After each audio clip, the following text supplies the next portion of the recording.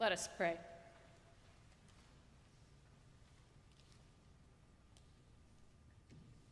O God, source of all light, by your word you give light to the soul.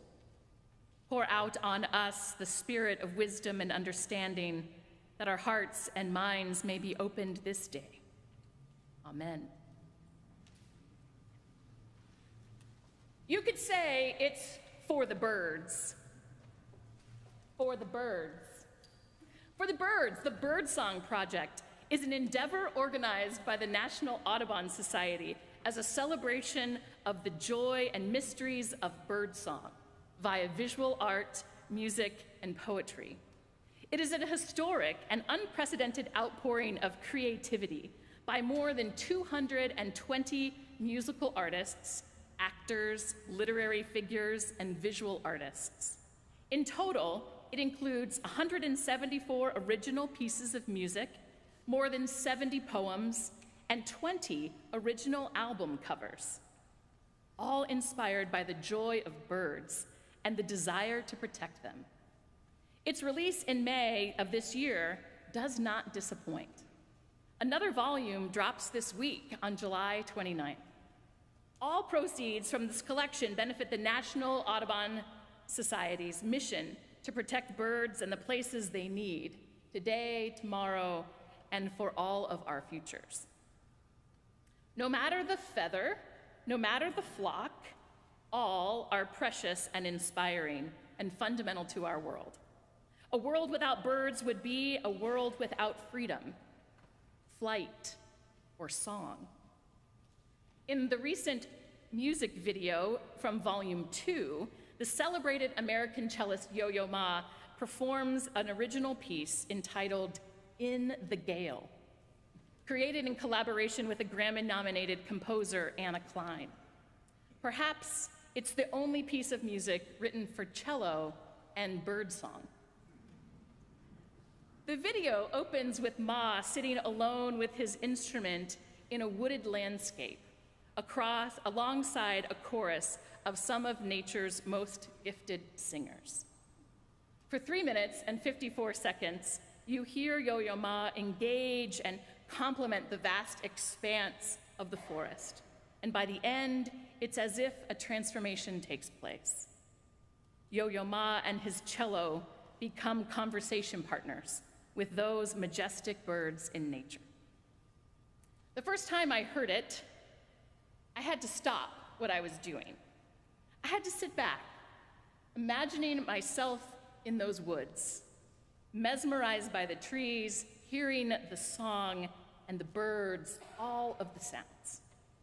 And for all the rhythms of our life, music plays an integral role in evoking a life experience. It certainly was true when I heard In the Gale and saw the video. It caught me at a moment when I needed to be called into the tranquility of nature, to remove myself for a little while from the whirlwind of life. Well, music helps us get out of our own heads, right? It's a place that Christians, we Christians, like to stay a long time, right? To get out of our heads and into a deeper place of the soul. Well, week in and week out, we praise God in this space with sacred music during the, and during the program year, the organs, with assistance from the choir, complement the architectural grandeur and the holiness of this space. It's architecture, after all, that informs the worship of God. Time and time again in this sacred space, there is a planful and prayerful hope that we can get out of our own ways long enough to let the Holy Spirit catch us and take hold of us and lead us wherever she may go. The task of this day and in our lives is to offer the very best that we have to God in gratitude for all that God has given us. With that said, we cannot thank Minister of Music Kevin Jones and the First Church Choir enough for making the faithful commitment in your own lives to witness to God's glory each and every day and each and every week, and to lift your best to God. Your spiritual centeredness helps us all connect to God in a much deeper way.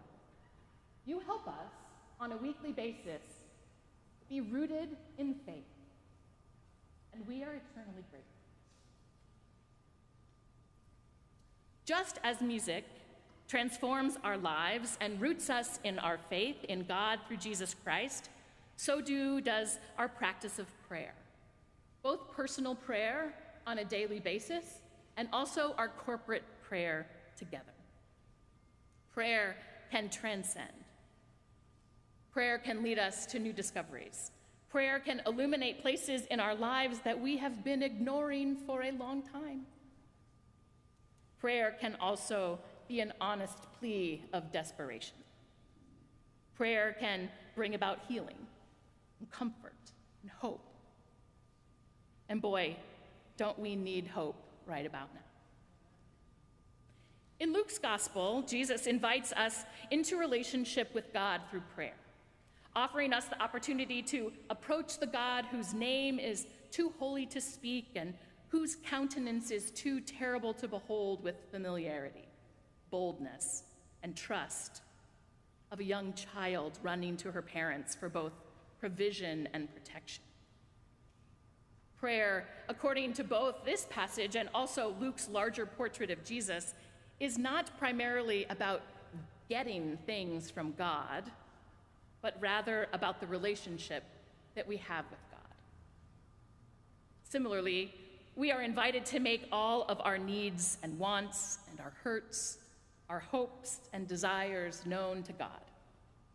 While at other places in Scripture, we are told that God knows our needs without being asked.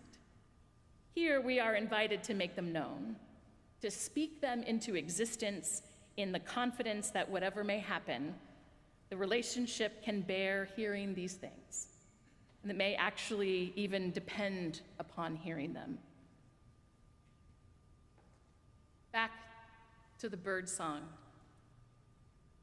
For the Birds offers the best of American poets as well. And here's an offering from Wendell Berry entitled The Hidden Singer. The gods are less for their love of praise. Above and below them all is a spirit that needs nothing but its own wholeness, its health, and ours. It has made all things by dividing itself. It will be whole again. To its joy we come together, the seer and the seen, the eater and the eaten, the lover and the loved. In our joining, it knows itself. It is with us then, not as the gods whose names crest in unhealthy fire, but as a little bird hidden in the leaves who sings quietly and waits and sings. In her book, Traveling Mercies, Anne Lamott writes in that our two best prayers are help me, help me, help me, help me, and thank you, thank you, thank you, thank you, thank you. and I think Jesus might agree, as there rests in Jesus' words to his disciples then and now an invitation, above all else, an invitation to honesty and candor. That comes from intimacy and trust. Friends, Jesus today invites us into a deeper and more honest and more trusting relationship with the God who desires to be known, chiefly as loving parent provider of all that is good, and protector of all in need.